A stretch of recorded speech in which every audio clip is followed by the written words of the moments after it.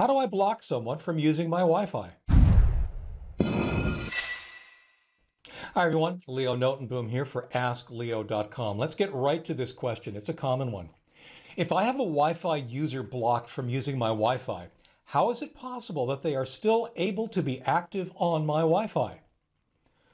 To put it bluntly, if they're active on your Wi-Fi, you haven't blocked them. Whatever you think you did did not prevent them from accessing your Wi-Fi network. I'm not sure what it is that's telling you they're active on your Wi-Fi, but assuming it's accurate, they're not blocked, period. So how do you do this? How do you block someone from using your Wi-Fi? It's a common, common issue and an important one, especially in what I'll call dense uh, housing situations where you can fire up your laptop and see dozens, if not hundreds, of Wi Fi access points out there. Somebody could see yours. What prevents them from connecting up? Well, there are ways. Some that work, some that claim to work but don't really, and others that just aren't necessarily worth the effort. First, I have to start with a caveat about your router. I can't unfortunately show you step by step exactly what to do here. The problem is that the steps will be different for heck every different router manufacturer, every different router model. The bottom line is that you'll probably end up accessing your router's administrative interface and changing some of the settings we're talking about here. But exactly how to do that, you'll have to refer to your router manufacturer's documentation or website for the steps you'll need to take. The number one most important thing to protect your Wi-Fi connection use a password. By that I mean make sure that the Wi-Fi access point is configured to require a password using either WPA2 or WPA3 encryption. The issue here is that only people who have the password will be able to connect to your Wi-Fi. That's it. That's the whole point, actually. That's not the whole point, but it's the point for this discussion. If you've got a password protected access point and you don't give someone the password, they can't access your access point. Only those people you've authorized by giving them the password can do so. Now, along that same lines, one of the things you should also do if this turns out to be important is disable any guest Wi-Fi.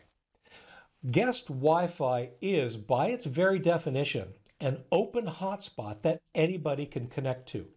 It's intended for guests. Someone comes to your house and they want to use your Wi Fi, but you don't want to give them the password. Great for that scenario. But in the scenario we're talking about here, it actually allows someone to use your Wi Fi. Now, to be clear, it's a separate network. When guest networking is available, it's a separate network. So they are not on the same network you are. They aren't able to connect to, for example, your machines, but they can still use your internet connection by using and connecting to this open Wi Fi hotspot that you have enabled at your router. If your router supports this feature, not all do, but if your router or access point supports this feature and it matters, turn it off. That way, again, only people who have the password to your protected access point can connect. Now, one of the pieces of pushback that I often get is MAC address filtering. In other words, many routers have the ability to restrict access to the network based on MAC addresses. A MAC address is supposed to be a unique number for every Wi Fi device on the planet, to be honest. It includes actually all networking devices, but we're talking about Wi Fi here. So the Wi Fi in my phone should present a different MAC address than the Wi Fi in my wife's phone or from my computer or from any of the other Wi Fi enabled devices here in my home.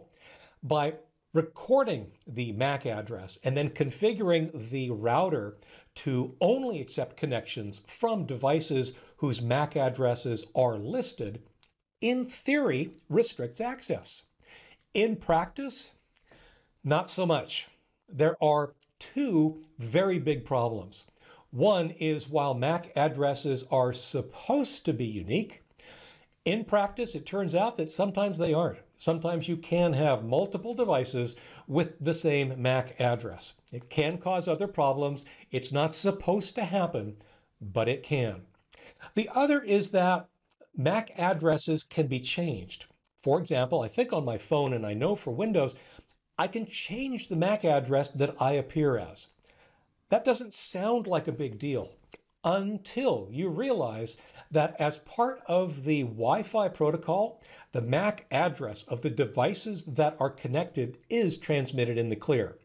So if someone were motivated enough to try and connect to your network and you had MAC address filtering turned on, all they would have to do is monitor your network, look for a MAC address on a connection that appears to be allowed to connect, set their device to that MAC address, and then they can connect. So as you can see, MAC address filtering, totally not worth it. I strongly recommend against it. It's an administrative headache, and honestly, it just isn't all that secure. By far, the number one thing you want to do, turn on WPA2 or WPA3, use a strong, unique password, and then only give that password to the people you want to allow on your network. Hope that was helpful. For updates, for related links, for comments, and more, visit askleo.com slash 142290. I'm Leo Notenboom, and this is AskLeo.com. Thanks for watching.